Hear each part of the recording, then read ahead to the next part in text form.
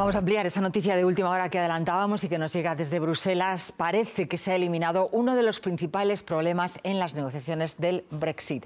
Londres se compromete a cumplir el protocolo sobre Irlanda del Norte. Marta Carazo, ¿qué significa exactamente ese pacto?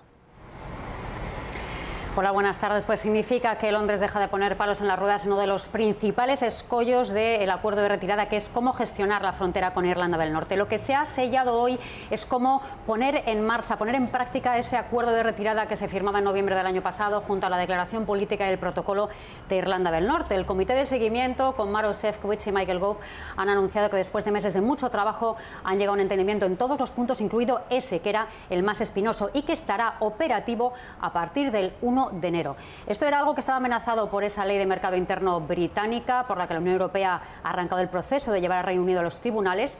Pero Londres hoy ha anunciado que retira las cláusulas más problemáticas y que se compromete a no introducir ninguna que pueda poner en peligro lo que se ha acordado definitivamente hoy. Es un paso más en el Brexit, un problema menos para Ursula von der Leyen y Boris Johnson que todavía tienen que verse aquí en Bruselas en los próximos días porque lo que falta es que ellos desbloqueen cuál va a ser la relación futura en las dos partes.